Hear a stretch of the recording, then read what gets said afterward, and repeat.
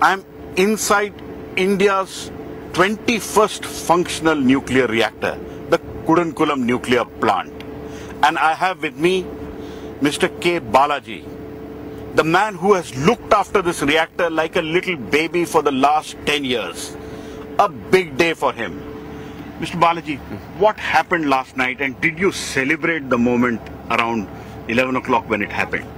No, we were very joyous when the reactor has become critical at 2305 hours yesterday night actually there.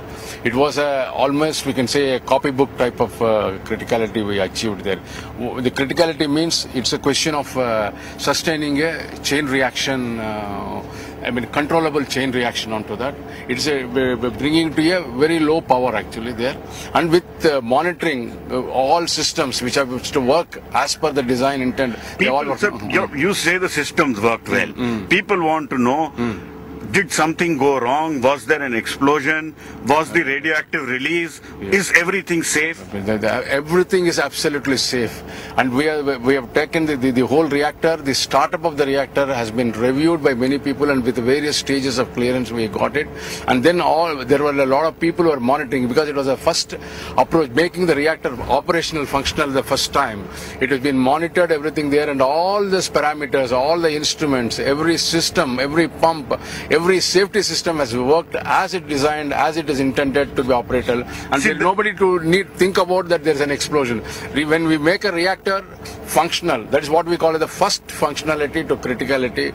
It, it is not that it is it goes in an uncontrolled or anything like that. It is most controlled way. We can shut it down at any time when we feel that there is one parameter is changing or anything. Like That's how we. But we, we there was nothing. We were just watching. It went on a textbook side. Whatever the design or the thing the reactor should go, it behaved perfectly well. All the things. The reactor is right behind us. Yes, we are standing less than half a kilometer from the reactor. yeah, right. Is everything safe here? Ab- I do not worry about anything. Uh, Absolutely safe, absolutely safe. It, it, it's like a baby born. It's a, you know the baby is going to grow into a big child and as a b- adult, and he's going to be the citizen of this country basically there, and it will be taken care, and he'll be the best citizen, delivering the power to the country basically there. is, you know. And, and what next on our we are buying many more reactors from overseas. There is a lot of program happening. There is Jaitapur. You are bringing more reactors here. Can you tell us what is your next steps?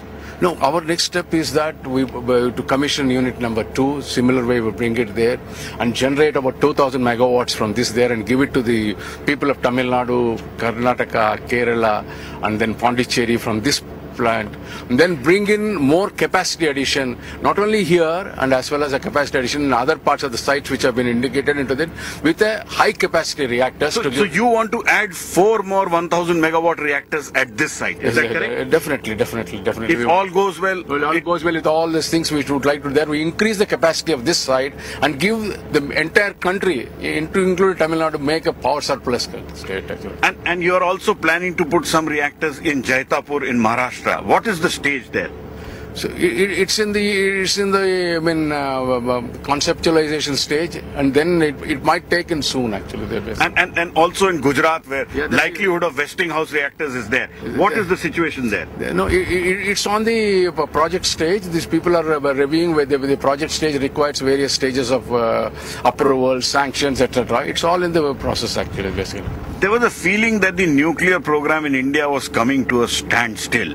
Kudankulam was a watershed moment. So are you very happy and relieved now that the nuclear program is not going to stay put and move ahead? No, uh, it's a question of not a relief. See, there is a question of uh, we have to convince everyone saying that the nuclear plant is safe. And that's what we have uh, demonstrated. The plant is safe. We have safely commissioned it. We have safely made it critical. We'll be bringing it to power. The most safe there, basically. And it's definitely a, a, I mean, a, a happy moment for us that we are uh, we have been given an opportunity to, to serve the nation with through the generation of power, th- through a, uh, mean, a, a power which does not pollute, which is sustainable, which is the safest power for the country. So that was Dr. Mr. Balaji telling us that this is the safest, carbon free, cleanest power. In the Indian nuclear energy program, coming up is a very big step. The fast breeder reactor is likely to be commissioned very soon at Kalpakkam. In the same way as Kudankulam has been a watershed, that will be a bigger watershed for the Indian nuclear program. With camera person SP Babu inside the Kudankulam nuclear plant, Pallav Bagla for NDTV.